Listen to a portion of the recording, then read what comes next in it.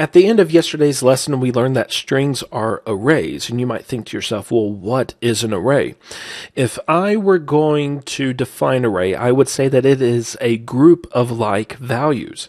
The key phrase being like values, because we can have an array of characters, which a string is, or we can have an array of integers, or an array of XML documents, or an array of strings, but we can't have an array that contains each of those types of data. An array has to be of a specific data type, and only values of that type can be stored in an array. There's no doubt that arrays are helpful. In fact, in the case of the string class, which is an array of characters, we would have a hard time storing words or phrases or anything else that a string can contain without an array uh, because a string is an array of characters. But there is a limitation to arrays, and that is they are fixed length. Whenever we create an array, we have to specify its length, and we do that either by explicitly giving it a length or by assigning the uh, data that we want to be stored within that array.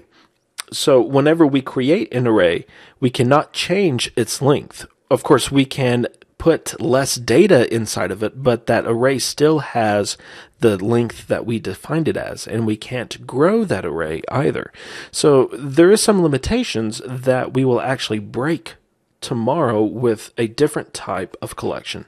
The arrays are very strict, very limited, but we have another type of collections that uh, we can use if we need more flexibility. But that's tomorrow. Today we need to learn how to create arrays. And we do so very easily. And in fact, whenever you learn how to create an array uh, for one data type, you know how to create an array for any data type.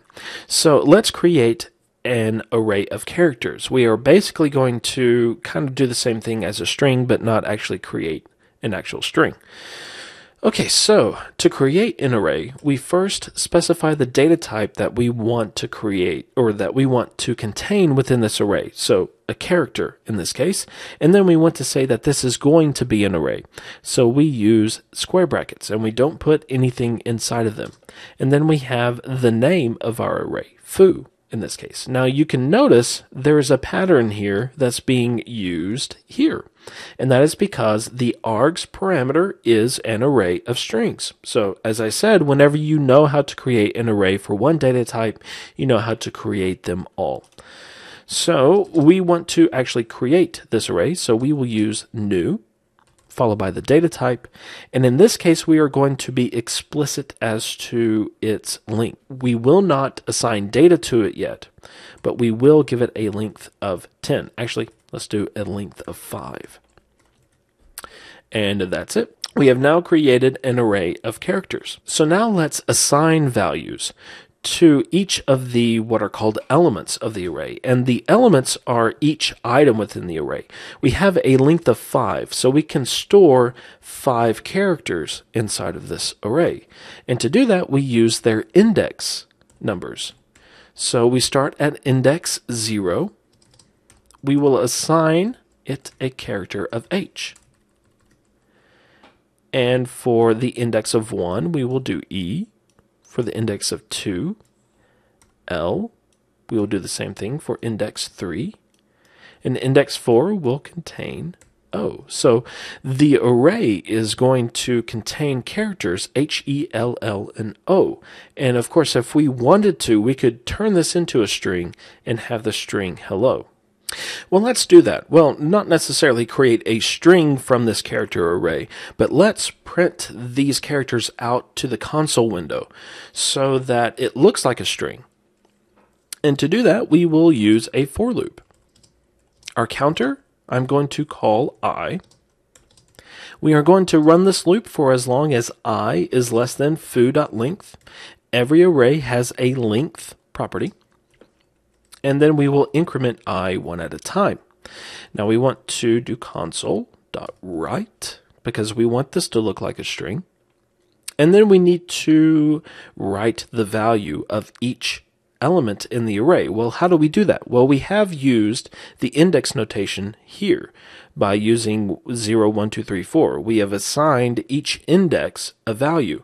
So we could kind of do that here, but whenever we hard code an index value, we are only going to get the value at that index. So for the code that we have here, we would get five H's. And just to show you, uh, there we have five H's followed by the press any key to continue.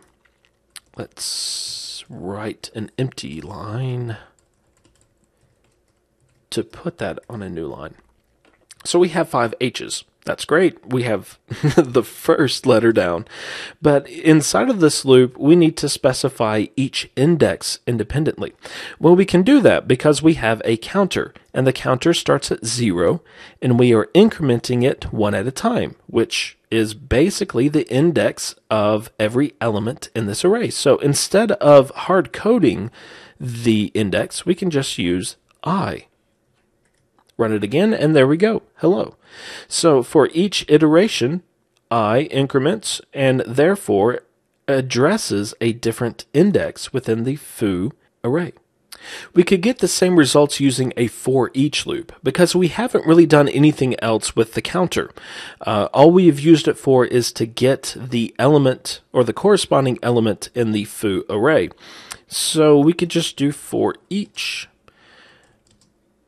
character C in foo, write it to the console. So console, write C, and we get the same results. Now you can see that there's a natural relationship between loops and arrays. Most of the time, if you are going to use a loop, you're doing so to iterate over an array. And it's really what you need to do that determines what loop you are going to use. If all you need is each element in the array, the for each loop is going to work just fine for you. But if you need the counter or the index number or anything like that, then the for loop is going to work better for you. Now, I personally don't like defining an array in this way. Uh, it's nice that we can do this, but there are some problems, at least as far as I'm concerned. Let's say if we wanted to change this array to contain a length of 13 so that we could fit hello world. First, we would have to change the length, and then we would have to specify each index, or at least each element's value. So in order to go all the way to the exclamation point at the end of world, we would have to specify foo and then the index and then the value. That's just more headache than I want to go through. Now, there are going to be some times when we do have to create arrays in this way because we might not know the values that we want to store in each element, but we know the length at least. So this way can be useful, but in instances where we do know the values, it's a whole lot easier just to use a different syntax. And it starts off kind of the same way, except we don't specify the length, we just don't specify anything. But we follow the closing square bracket with a curly brace. And then inside of the code block, let's go ahead and complete the code block we specify the values. And we don't have to specify indexes or anything like that. The values are automatically created starting at index 0. So we have h, which is going to be at index 0. But then in order to specify the e, we have to use a comma because this separates one element from the next.